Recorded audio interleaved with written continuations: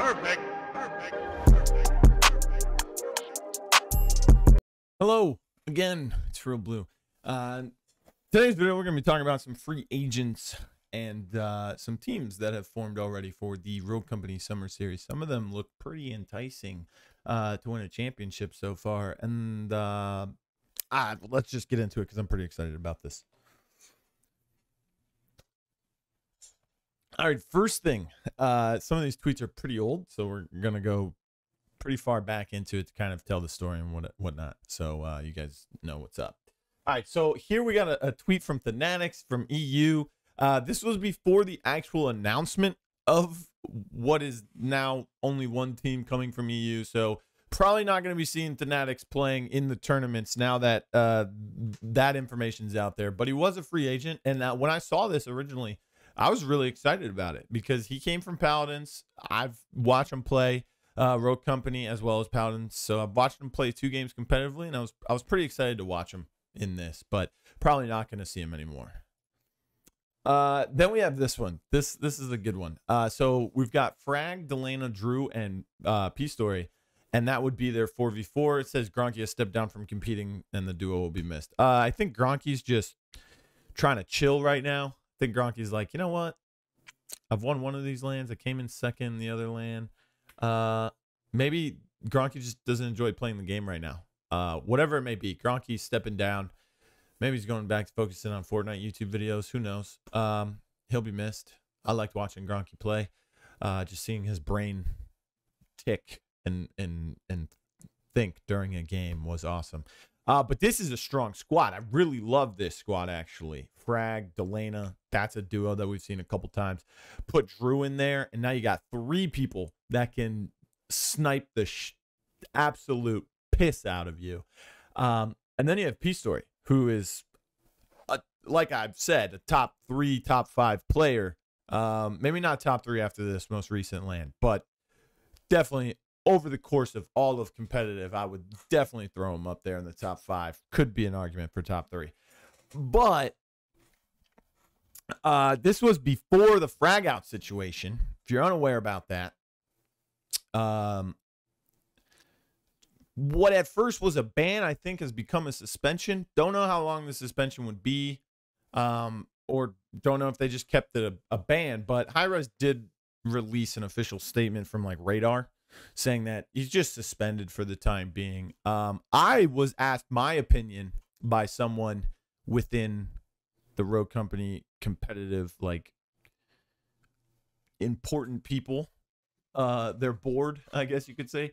How long would you suspend him for? Um and my personal opinion that i told them was you know the qualifiers actually mean something a little bit more so now than they have in the past for the for the springland especially. So uh, I would suspend them for the first two weeks because you know if the team plays with them only, then they're going to miss those first two weeks of points. Their seating is not going to be the best, um, or they could play without them and just sub them in, like everyone does, anyways. Uh, so that was my opinion to them. I don't know what they're going to do still, so I don't know how long that suspension is going to be after that happened, that whole that whole mess on Twitter, we got a tweet from Delana saying uh, he'll be retiring since his. I always think the word retiring in uh, esports is funny. Uh, he'll be retiring since his teammates quit and one got banned. Uh, I am being serious about this. My favorite response to this is Gronky's, where he just puts in quotes, "I am being serious about this." Um, I, I thought that was hilarious. I don't know if this is true, especially if it's just a, a suspension for like one or two, maybe three, whatever, however long uh, for Frag. So if he comes back, that would be their team.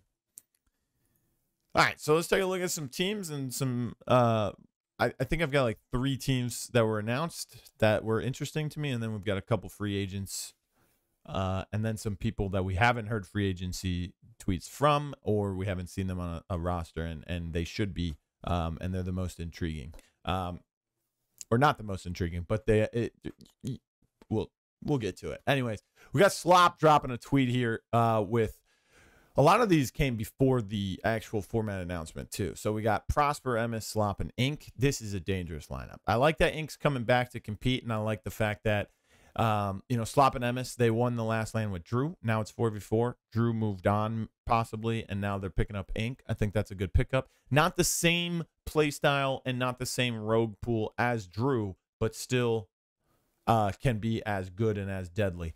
Uh, and then you have Prosper and MS. Again, they won the last LAN. And then you got Slop. Slop went out there and said, you know what? I want to compete. I want to go to LAN. I'm going to go get my vaccination. So I think Slop was against the vaccines at first, um, and now has went and got both shots in order to travel.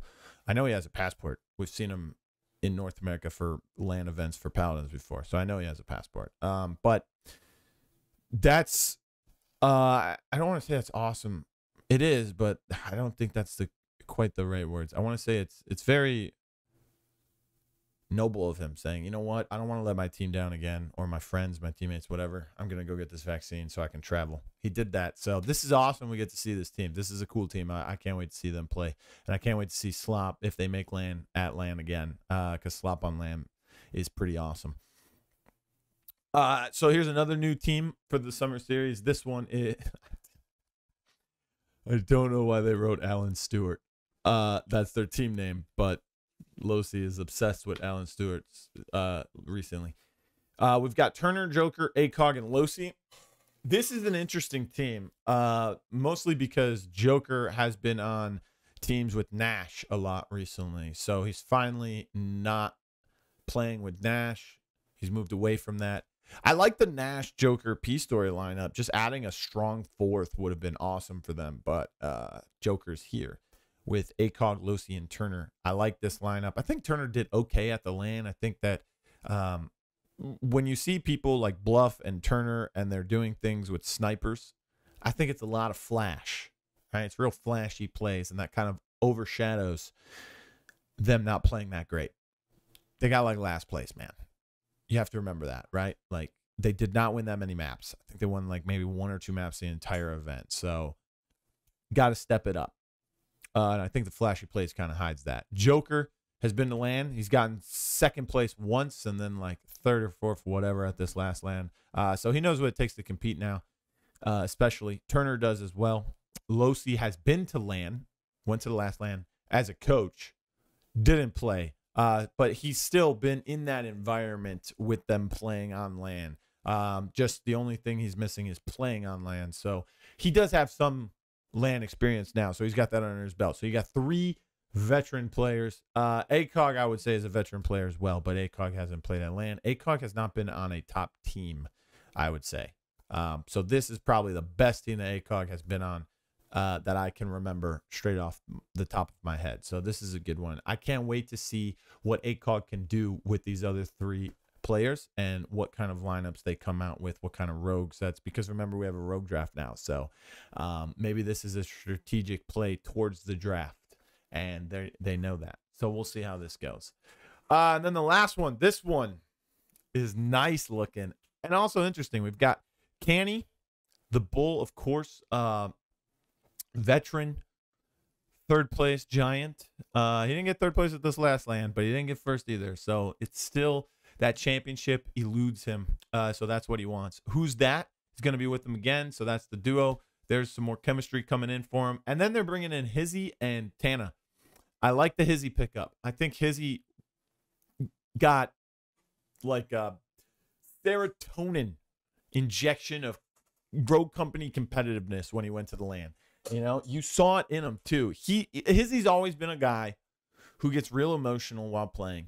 Always gets super pumped, you know, has that energy. But you could tell it was kind of different when he went to the LAN. Because when things weren't going his way, online, he would still be hyped. He'd be trying to hype himself, be trying to hype his teammates. Let's go. Let's fucking go, you know, and stuff like that. Or like, don't fucking don't play with me. Don't play with, you know what I'm saying? But at the LAN, it was kind of like he got if he got dogged on or they lost or something went awry, he kind of settled down, you know? So I think that kind of hit him with the the right injection of competitiveness saying, I want to do this again. I, I don't want to lose like that again. In in person, I don't want to lose like that again. So, that I think he's got a little bit of grind in him now, uh, a little bit more than before, and I think he he he wants to win to win now. It's not about anything else. He wants to win to win, and that's good. Uh, Tana, young star that came out of that console only squad Cinderella story. Uh, I think Tana was really good. He impressed me, especially with the devotion. Uh, the uh, uh, the shots that he was hitting on the PC rigs, man, he was he was probably like, this feels good, man. This feels good. I think it's only like 30 FPS more than a PS5 or whatever he's playing on 120. Uh, but still, that's a lot, and it was a big improvement. And it was good to see Tana already has that LAN experience, young in the scene. Uh, can't wait to see what they develop into. So this is a good squad. The main thing that stuck out to me about this is that there is no class. Canny and Who's don't have class with them, so that was what stuck out to me. Uh, so it looks like Who's that's gonna have to play chalk. Uh, so let's talk about some tweets from some players that I think should be on teams, or maybe they're underrated, or maybe they just intrigued me that they said, "Hey, I want to compete." Right? Uh, number one, Mikey, O Nation. Uh, Mikey had a tough time at the first LAN, but also didn't have the best team at the first LAN. I think Mikey's been grinding. That's that ranked demon. Um, Mikey's a good guy too, and I think that Mikey knows what it takes to win. Uh, just has to like get that competitive spark to blow up more so than you know. Maybe it's lit a little bit. It's like a little lantern right now, but a little little sterno. It's not gonna go out, but it's not like gonna burn your house down. You know what I'm saying? So uh, that one intrigued me that he's still a free agent. Nash, free agent for the summer series. I haven't seen a tweet from Nash declaring them on a roster. Maybe I just need to check again. Uh, but for right now, I don't see them on a roster. And I think that is terrible because he's been there since the beginning. Um, and he's a great player. Yeah, see, look, we're going all the way June 7th. He's retweeting other people right there. Yeah, that's free agent. Um, I can't wait to see what he does. Uh, he can go two routes. He can go, he can build a team to win, or he can build a team with some young guys to kind of see if he can sneak himself into that winning category and, and develop some players the way he'd like them.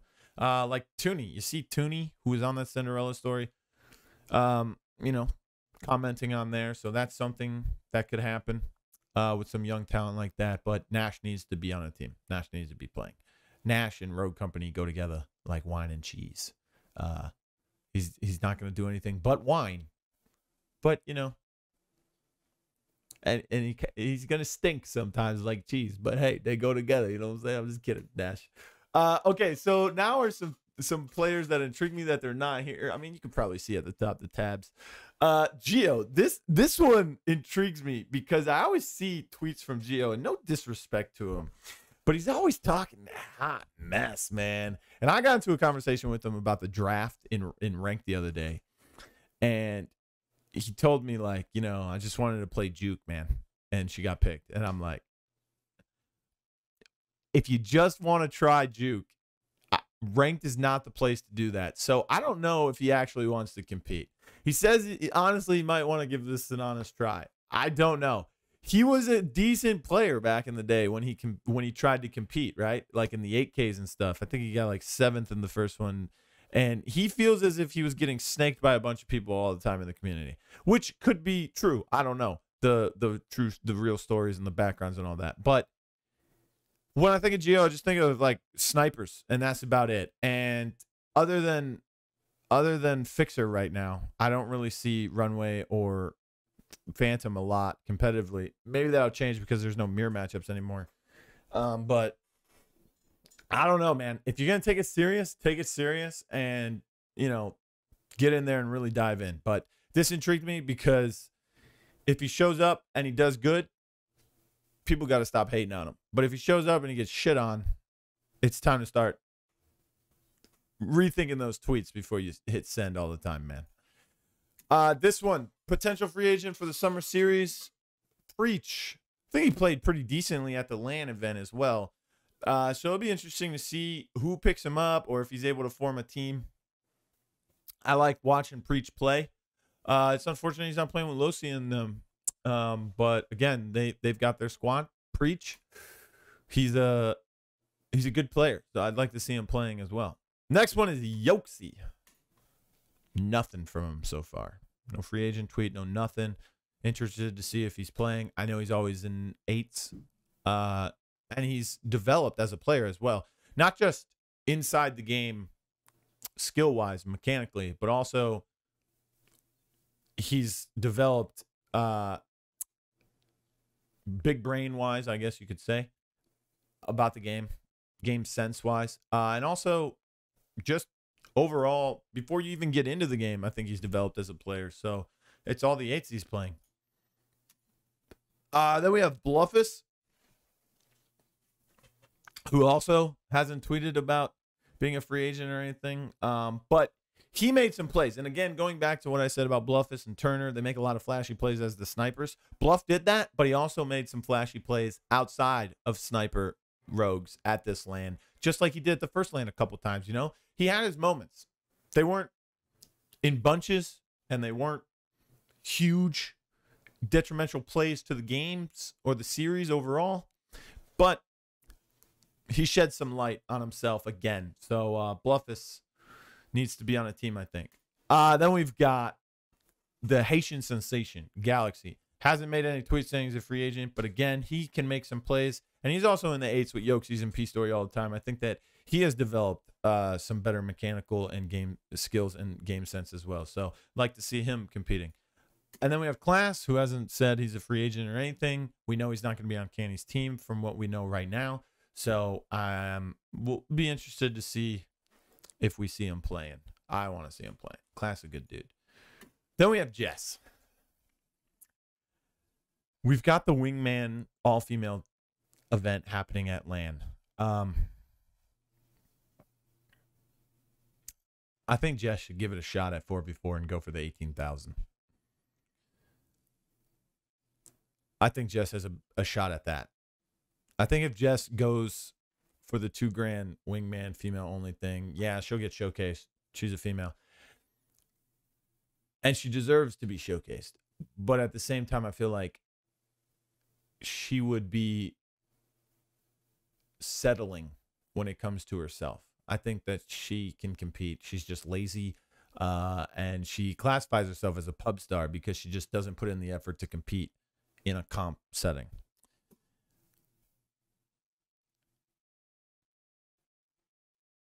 That's my opinion on her. Then we have Key. I think Key's a decent player. I think he's good. I think he deserves to be on a team. He mostly just has this freaking bot tweeting. Who visits my Twitter profile? Like, guys, who freaking cares, man? Uh, he was announced as the graphics person for the summer series. Um, so I don't know if he's going to be playing, but I think he deserves to be on a team. Pulsa. This one was kind of weird to me because, like, I was like, oh man, I'd love to see Pulsa compete, but MS Lopper and Prosper they they picked up Ink, and uh, they're probably going to be the only EU team that makes it. So for Pulsa, it's probably not worth it uh, unless they want to fly him out as a coach. Then he'll still get to come to LAN. Also, don't know if his hand's fully healed. Hope it is. Well, I hope Pulse is having a good day, man. Uh, then we have Cool. Cool's a really good player. I think Cool just really hates the game. Um, but I was in a call with him the other day, and he tried to play the game. He was like, "I'm gonna play a couple road games. I'm gonna play ranked or something." Um, strikeout rank. And uh, I don't know what's wrong with Cool's game, man, but he always has trouble with video games. He tried to queue, it didn't work. He got off. He went to bed. Uh, but I'd like to see Cool compete. I think he'd have a shot. Uh, maybe he can form a team with Nash, Class, and Bluffus Yoxie Haitian, and they could kind of like just come in blazing. Put put him on a team with Jess. Who knows, right? Uh, then we have P Story. So I put this one in there because I don't know if if the frag team's gonna st- you know be playing or sticking together. If they're not, P story, man. If Delano really retired, if Frag's really not gonna play because he's suspended or banned, and I think P story needs to go on a team, needs to be out there. Maybe he can relink with uh, Nash if he's not going to be playing with the original team that he was announced with. But if not, I'd like to see that team because uh, I'm a big P Story fan. I hope he's having a good day too. And then we have Pixie. Pixie, of course, hasn't made a free agent tweet. He's been grinding uh, some stream games, you know, ranked stuff like that. So he's been grinding. I don't know if he's going to be playing. I'd like to see him play. I think he was a good player. Uh, so it'd be interesting. But yeah, that's it for this one. That's all I got. Uh, that's all I got. A couple people I thought are intriguing players are still not on teams or haven't announced that they're on teams. A couple people with some free agent tweets out there, and then a couple teams that look intriguing to me. Uh, once they start playing, we'll really dive in and see how they're going. But that's it for me. We'll see you on the next one. Oh, hello there. It's Blu. I'm a terrible dancer, so ignore that version of me on the screen and listen to my voice when I say thank you for watching my video. I hope you enjoyed it. Make sure you like, share, subscribe, and of course, click on another video of mine. I heard you'll like those over there. They're pretty good.